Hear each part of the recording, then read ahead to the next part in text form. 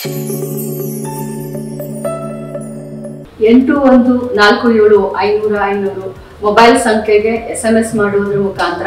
ಅದೇ ರೀತಿ help line ಆದಂತ ಒಂದು ಒಂಬತ್ತು ಸೊನ್ನೆ ಎರಡಕ್ಕೆ ಕರೆ ಮಾಡುವುದರ ಮುಖಾಂತರ ನಿಮಗೆ ಕೊಟ್ಟಂತ ಸ್ಥಳ, ದಿನಾಂಕ, ಸಮಯವನ್ನ ನಿಗದಿಪಡಿಸಿಕೊಳ್ಳಬಹುದು. ಇಂಥ ಒಂದು ಅತ್ಯುತ್ತಮ ಯೋಜನೆ ಮುಖಾಂತರ ಮನೆ ಯಜಮಾನಿಯನ್ನ ಆರ್ಥಿಕವಾಗಿ ಸ್ವಾವಲಂಬನೆಗೊಳಿಸೋಣ.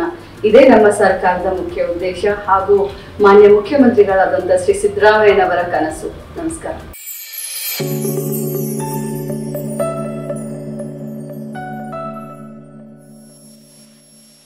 ದಾವಣಗೆರೆಯಲ್ಲಿ ಮುಂದುವರಿದ ಸಚಿವ ಸಂಸದರ ವಾರ್ ಅಕ್ರಮ ಗಣಿಗಾರಿಕೆ ಬಗ್ಗೆ ದಾಖಲೆ ಬಿಡುಗಡೆ ಮಾಡಲು ಸಜ್ಜು. ಹಾಯ್ ಹಲೋ ನಮಸ್ಕಾರ ವೀಕ್ಷಕರ. ಕರ್ನಾಟಕ ಟಿವಿಗೆ ಸ್ವಾಗತ. ನಾನು ಯೋಗೇಶ್ ಈಶ್ವರ್. ದಾವಣಗೆರೆ ಅಂದಕ್ಷಣ ರಾಜಕೀಯವಾಗಿ ಮತ್ತು ಉದ್ಯಮ ಅಂತ ಬಂದಾಗ ಎರಡು ಕುಟುಂಬಗಳು ತುಂಬ ಫೇಮಸ್ ಎರಡು ಕುಟುಂಬಗಳು ಕೂಡ ಸಾವಿರಾರು ಕೋಟಿಯ ಒಡೆಯರು. ಒಂದು ಕಡೆ ಶ್ಯಾಮ್ನೂರು ಶಿವಶಂಕರಪ್ಪನವರು, ಮತ್ತೊಂದು ಕಡೆ ಸಂಸದರಾಗಿರುವಂತಹ ಜಿ ಎಂ ಸಿದ್ದೇಶ್ವರ್ ಅವರು ಸಂಬಂಧದಲ್ಲಿ ಇಬ್ಬರು ಕೂಡ ನೆಂಟರಿಷ್ಟ್ರೆ ಆದರೆ ಇಬ್ಬರ ಎರಡು ಕುಟುಂಬಗಳ ನಡುವಿನ ವೈರತ್ವ ಎಸ್ಪೆಷಲಿ ಕಾಂಗ್ರೆಸ್ ಸರ್ಕಾರ ಅಧಿಕಾರಕ್ಕೆ ಬಂದ ಮೇಲೆ ಎಸ್ಪೆಷಲಿ ಲೋಕಸಭಾ ಚುನಾವಣೆಯ ಹೊಸ್ತಿಲಲ್ಲಿ ಇದು ಇಡೀ ರಾಜ್ಯಾದ್ಯಂತ ಸದ್ದಾಗ್ತಾ ಇದೆ. ಶಾಸಕರಾಗಿ ಶಾಮನೂರು ಶಿವಶಂಕರಪ್ಪ ಅವರು ಮತ್ತೆ ಆಯ್ಕೆಯಾದರು. ಅವ್ರ ಮಗ ಎಸ್ ಎಸ್ ಮಲ್ಲಿಕಾರ್ಜುನ್ ಕೂಡ ಗೆದ್ದರು ಸಚಿವರಾಗಿದ್ದಾರೆ. ಅವರು ಸಚಿವರಾಗಿದ್ದೆ ತಡ ಜಿ ಎಂ ಸದ್ದೇಶ್ವರ್ ಮತ್ತು ಅವರ ಕಡೆ ಅವರ ಬೆಂಬಲಿಗರು ಒಂದಷ್ಟು ಆರೋಪಗಳನ್ನ ಮಾಡೋಕ್ಕೆ ಬ, ಬಂದರು. ಅಕ್ರಮ ಗಣಿಗಾರಿಕೆ, ಮತ್ತೊಂದು, ಮಗದೊಂದು, ಅದು, ಇದು ಅಂತ. ದಾವಣಗೆರೆಯಲ್ಲಿ ದುರ್ಗಿಗಿಡಿ ದೇವಸ್ಥಾನಕ್ಕೆ ಬಂದು ಗಂಟೆ ಹೊಡೆದು ಪ್ರಾಮಿಸ್ ಮಾಡಬೇಕು. ಹಣೆ ಪ್ರಮಾಣ ಮಾಡೋವರೆಗೂ ಕೂಡ ಎರಡು ಕುಟುಂಬಗಳ ಜಿದ್ದು ಬಂದು ನಿಂತ್ಕೋತು ಆದರೆ ಆ ಸವಾಲಿಗೆ ಯಾರು ಕೂಡ ಮುಂದೆ ಬರಲಿಲ್ಲ. ಶಾಮನೂರು ಶಿವಶಂಕರಪ್ಪ ಅವ್ರು ಹೇಳಿದ್ರು ಜಿ ಎಂ ಸಿದ್ದೇಶ್ವರ ಅವ್ರು ಬರಲಿಲ್ಲ. ಜಿ ಎಂ ಸಿದ್ದೇಶ್ವರ ಅವ್ರಿಗೆ ಒಂದು ರೀತಿ ಲೋಕಸಭಾ ಚುನಾವಣೆಯಲ್ಲಿ ಟಿಕೆಟ್ ಕೊಡ್ತಾರೆ ಇಲ್ವೋ, ನಾನು ನಿಂತ್ಕತಿನೇ ಇಲ್ವೋ ರೇಣುಕಾಚಾರ್ಯ ಬೇರೆ ಕೇಳ್ತಾವ್ರೆ. ಯಾರು ಕೇಳಿದ್ರು ಪಕ್ಷಕ್ಕೆ ಗೆಲ್ಲಿಸ್ಲೇಬೇಕು. ಇಲ್ಲಿ ನೋಡ್ರೆ ಗುಜರಾತ್ ಫಾರ್ಮುಲಾ ಅಂತಾರೆ, ಲೋ ವಿಧಾನಸಭೆಯಲ್ಲಿ ಎಲ್ಲ ಹಳ್ಳ ಹಿಡ್ದೋಯ್ತು. ಹೀಗಾಗಿ ಒಂದಷ್ಟು ಲೈಮ್ ಲೈಟ್ಲೆ ಲೈಮ್ ಲೈಟಲ್ಲಿ ಇರಬೇಕು, ತನ್ನ ಹೆಸರು ಪದೇ ಪದೇ ಚಾತಿಯಲ್ಲಿರಬೇಕು ಅನ್ನೋ ಕಾರಣಕ್ಕೆ ಕಾಂಗ್ರೆಸ್ ಪಕ್ಷದ ಶಾಸಕ ಮತ್ತು ಸಚಿವರು, ಅಂದರೆ ಶ್ಯಾಮ್ನೂರ್ ಅವರ ಕುಟುಂಬದ ಮೇಲೆ ಆರೋಪ ಮಾಡ್ತಾರೆ. ಇದೀಗ ಫೈನಲ್ ಆಗಿ ಸಚಿವರಾಗಿರುವಂಥ ಎಸ್ ಎಸ್ ಮಲ್ಲಿಕಾರ್ಜುನ್ ಅವರು ರೊಚ್ಚಿಗೆದ್ದವರೇ ಸಾವಿರದ ಒಂಬೈನೂರ ತೊಂಬತ್ನಾಲ್ಕರ ಸಂದರ್ಭದಲ್ಲಿ ಜಿ ಎಂ ಸಿದ್ದೇಶ್ವರ್ ಹೇಗಿದ್ದರು ನಾವು ಹೇಗಿದ್ವಿ? ಎಲ್ಲವೂ ಇಲ್ಲಿಯ ಜನಕ್ಕೆ ಗೊತ್ತಿದೆ. ನಾವು ಯಾವತ್ತೂ ಬಡ್ಡಿ ವ್ಯವಹಾರ ಮಾಡ್ಕೊಂಡಿಲ್ಲ.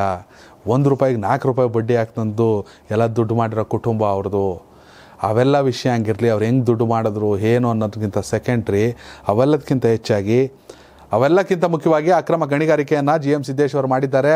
ನನ್ನ ಬಳಿ ದಾಖಲೆ ಇದೆ ಅಂತ ಫಸ್ಟ್ ಟೈಮ್ ಡಾಕ್ಯುಮೆಂಟ್ ಬಗ್ಗೆ ಎಸ್ ಎಸ್ ಮಲ್ಲಿಕಾರ್ಜುನ್ ಅವರು ಮಾತಾಡಿದ್ದಾರೆ. ಬೇಕಾದರೆ ಚರ್ಚೆಗೆ ಬರಲಿ ಅಂತ ಹೇಳಿದ್ದಾರೆ.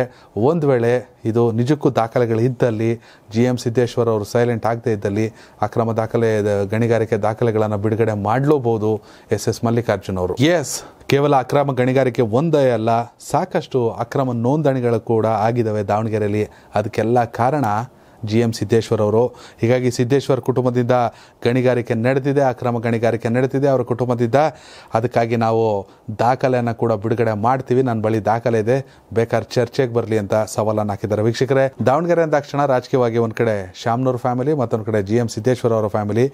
ನೆಂಟರಿಷ್ಟರಾಗಿದ್ದರೂ ಕೂಡ ಈಗ ಬದ್ಧ ವೈರಿಗಳು, ಬೇರೆ ಬೇರೆ ಪಕ್ಷ, ಇವ್ರದ್ದು ಕಾಂಗ್ರೆಸ್ಸು, ಅವ್ರದ್ದು ಬಿ ಜೆ ಪಿ ಏನಾಗುತ್ತೆ?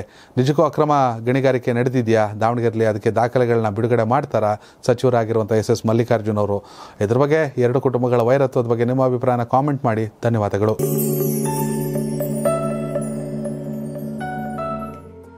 ಕುಟುಂಬದ ಯಜಮಾನಿಗೆ ನಮಸ್ಕಾರ. ನಮ್ಮ ಕರ್ನಾಟಕ ರಾಜ್ಯ ಸರ್ಕಾರ ಮಹಿಳೆಯ ಸ್ವಾವಲಂಬನೆಯ ಜೀವನಕ್ಕೆ ಗೃಹಲಕ್ಷ್ಮಿ ಅನ್ನುವಂತ ಮಹತ್ವರವಾದಂತಹ ಯೋಜನೆಯನ್ನು ತೆಗೆದುಕೊಂಡು ಬಂದಿದೆ. ಪಡಿತರ ಚೀಟಿಯನ್ನ ಹೊಂದಿದಂತ ಕುಟುಂಬದ ಯಜಮಾನಿಗೆ ಪ್ರತಿ ತಿಂಗಳು ಎರಡು ಸಾವಿರ ರೂಪಾಯಿಯನ್ನ ನೀಡಲಿದ್ದೇವೆ. ಈ ಯೋಜನೆಗೆ ಕರ್ನಾಟಕ ಒನ್ ಬ್ಯಾಂಗ್ಳೂರ್ ಒನ್ ಗ್ರಾಮ ಒನ್ ಹಾಗೂ ಬಾಪೂಜಿ ಸೇವಾ ಕೇಂದ್ರಗಳಲ್ಲಿ ಉಚಿತವಾಗಿ ನೋಂದಾಯಿಸಿಕೊಳ್ಳಬಹುದು. ಅದೇ ರೀತಿ ಸರ್ಕಾರದಿಂದ ನೇಮಕಗೊಂಡಂತ ಪ್ರಜಾಪ್ರತಿನಿಧಿಗಳು ತಮ್ಮ ಮನೆ ಬಾಗಿಲಿಗೆ ಬಂದು ಉಚಿತವಾಗಿ ಈ ಯೋಜನೆಯನ್ನ ನೋಂದಾಯಿಸಿಕೊಳ್ತಾರೆ.